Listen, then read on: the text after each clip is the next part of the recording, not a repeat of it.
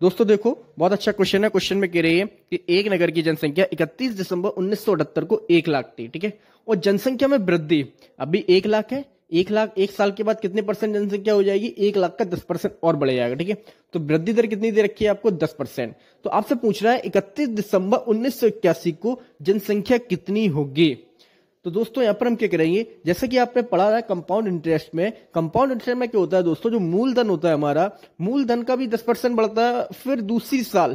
दूसरी साल दोस्तों क्या होता है? मूलधन का तो दस परसेंट लगता है, और जो ब्याज आपका दस परसेंट बना, उस पर भी आपको दस परसेंट देना पड़ता है, ठीक है? तो मूलधन में हम ये सॉरी चक्रवर्ती ब्याज में हम ये फॉर्मूला यूज़ करते हैं।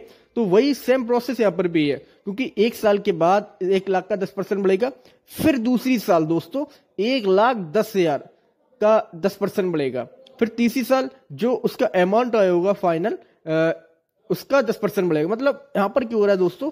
जो स्टार्टिंग में थी, उसका तो बढ़ रहा है और जो बढ़ रही है जनसंख्या, उसका भी दस परसेंट बढ़ रहा है। तो यही सेम किसमें होता है दोस्तों कंपाउंड में, ठीक है? तो इसलिए हम लोग दोस्तों कंपाउंड का यूज़ कंपाउंड फॉर्मूला का यूज़ करेंगे। ए बराबर P कोष्टक one plus R upon hundred की पावर एन आपको पता है दोस्तों ए क्या होता है हमारा? जो फाइनल होता है फाइनल अमाउंट फाइनल अमाउंट मतलब जिसमें चक्रवर्ती ब्याज भी होता है, ठीक है? अब यहाँ पर पी क्या होता है? पी होता है दोस्तों स्टार्टिंग मूलधन, ठीक है? तो यहाँ पर स्टार्टिंग कितना है दोस्तों? एक लाख, ठीक है? वन प्लस आर क्या होता है? जिस कितनी वृद्धि है, दर कितनी है यहाँ पर? दस परसेंट के हिसाब से बढ़ रहा है तो आर का वैल्यू कितना होगा दोस्तों? दर, ठीक है? एन देखो दोस्तों एन में लोग कंफ्यूजन होती है। उन्नीस सौ अठहत्तर था, लेकिन टाइम तो आपका अब स्टार्ट हो रहा है, उन्नीस सौ अठहत्तर के बाद से लेकर उन्नीस सौ इक्यासी। तो आप देखोगे कितना साल का फ़र्क हो रहा है? तीन साल। लोग इसमें कंफ्यूजन हो जाते हैं कि इसमें हम क्या करें? कुछ भी नहीं करना है आपको। आपको उन्नीस सौ अठहत्तर से स्टार्ट हुआ है, उन्नीस सौ इक्यासी तक। तीन साल का आपको निकालना है। तो तीन साल एन की वैल्यू कितनी आई दोस्तों? तीन, ठीक है? तो पी स्टार्टिंग होता है जो, हमारा कितना था? एक लाख। वन प्लस आर कितना है? दस परसेंट। दस रख दिया हमने। अपॉन हंड्रेड की पावर एन की जगह हमने कितना रख दिया दोस्तों? तीन साल, ठीक है? तो अब हम क्वेश्चन को हल करेंगे दोस्तों। एक लाख आपका ये रहा गुड़ा अब यहाँ पर देखो, इस ज़ीरो से ये ज़ीरो कट हो गया। आपका ऊपर कितना बचा दोस्तों? वन। तो टेन बन जा, टेन और वन, इलेवन। इसको हम किस तरीके सोल्व करते हैं? इसका मल्टी करेंगे और ये ऐड कर देंगे। तो यहाँ पर तो दोस्तों वन बचा है आपका। तो टेन बन जा, टेन और वन, इलेवन।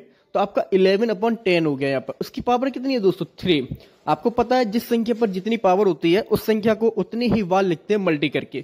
तो इलेवन अपॉन टेन को हम कितनी बार लिखेंगे दोस्तों? थ्री बार क्योंकि इसकी पावर कितनी है? थ्री ठीक है? अब इस ज़ीरो एक, दो, तीन ज़ीरो से एक लाख की तीन ज़ीरो दोस्तों कम हो जाएँगी।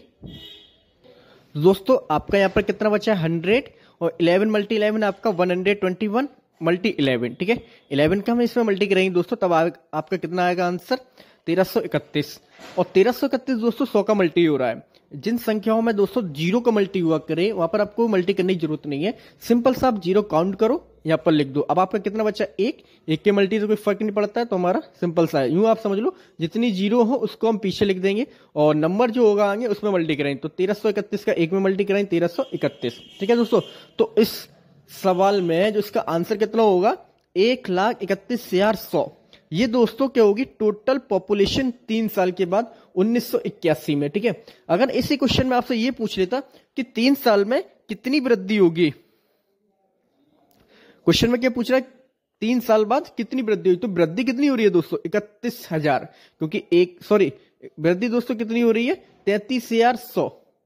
यहाँ पर जो वृद्धि होगी वो तैतीस हज़ार आपका आंसर कितना है दोस्तों वृद्धि? तैतीस शेयर सो, ठीक है? ये तैतीस शेयर सो जिस तरह कंपाउंड इंटरेस्ट में दोस्तों ब्याज निकालते हैं ना, वैसे ही यहाँ पर भी जो वृद्धि हो रही है, वो कितनी हो रही है? तैतीस शेयर सौ, ठीक है दोस्तों? तो क्वेश्चन बहुत ईजी है, बस आपको बारीकी समझने की ज़रूरत है।